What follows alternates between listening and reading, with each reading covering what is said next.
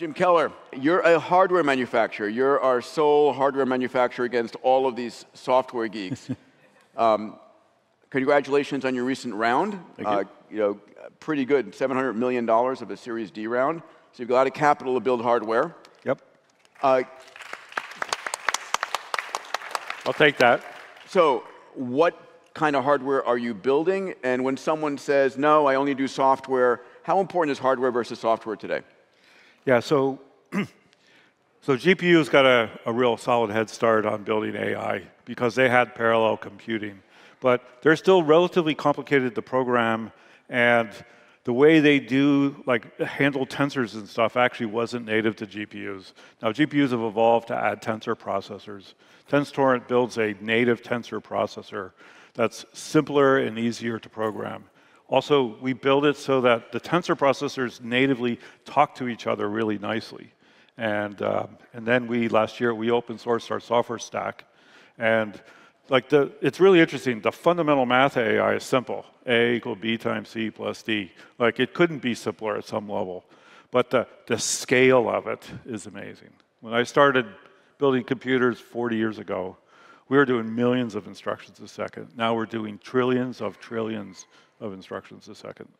And to scale that takes a, like a special collaboration between the hardware and the software. So when, you, when your machines are up and operating, uh, I guess the question is, what are they enabling uh, for people in the room here?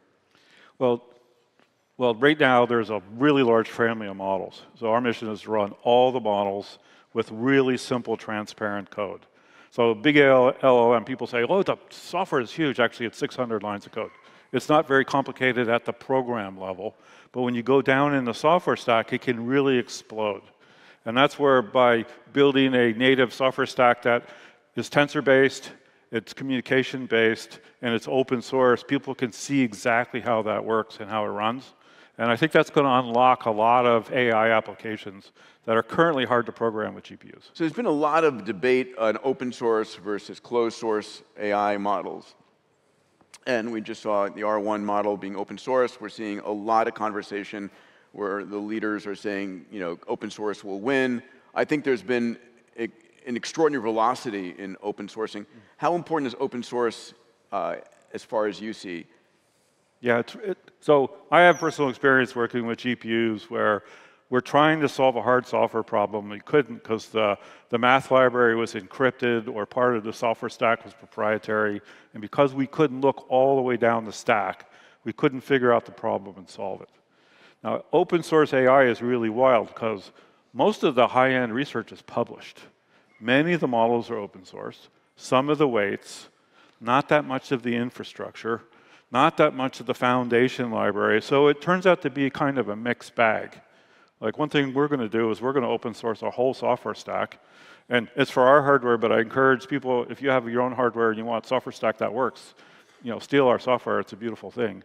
And then I want to make it so many of the foundation models, the environment, the framework to build and train your own models are also open source and available. And I think it's really important to democratize the hardware stack and the software stack so it's not just a few very large players that control the AI world. So a lot of people from around the world here. Are the machines that you're building likely to be used in the global south more than in, in North America? No, we're going to sell to everybody. We license a small AI configuration to go in a television chip, and we're building machines that can train large language models and everything in between. And the other part of our business model, and again, I think innovation comes from lots and lots of input. So the software is open. It's been our best hiring strategy, by the way, this is great. Our programmers look at our software stack, they like it, they send a resume, or worse, or funnier, they don't like it, and they send me a resume because they want to come fix it. And I think, and I think that's really great. And then we've licensed our AI and our RISC-V CPU technology to people, and they like it, and they use it, and they send us feedback. So we're going to license our AI technology, but also build and sell systems. What do you want people to take away from the work that you're doing? What should they remember? How should they utilize the tech that you're building?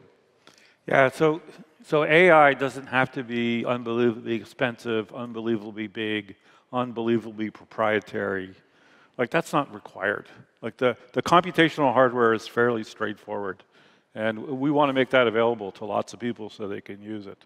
I, I think there is going to be a big up leveling on how we build and write software and build machines. It, it shouldn't take two years to build a computer, right? We want to pull that down. It shouldn't take $10,000 to buy a single chip. We're going to take that down drastically, right? How, how much cheaper is the systems you're building compared to Our, our target is 5 to 10x cheaper. I'm sorry, 5 to 10x cheaper. five to 10x cheaper. than the current systems. And then we have a roadmap to continue to make that better. And then the other piece is like you have to, I, I like the big swing approach on using AI, but start small, right? Like I'm asking my software team to double their productivity this year. And everybody's starting to use the, the code generators, the code helpers. We have, we're building our own tools to go check the quality and, and just start working on it and get used to it. Because, like, you're right, if your system's broken, like, patching up the broken system isn't quite right. But getting a real feel for it and using it and then starting to iterate on how your system works is really important. And I, I think everybody should, you know, dive in and embrace it. But we don't have to solve world peace 1st I would like to make my code have a few less bugs.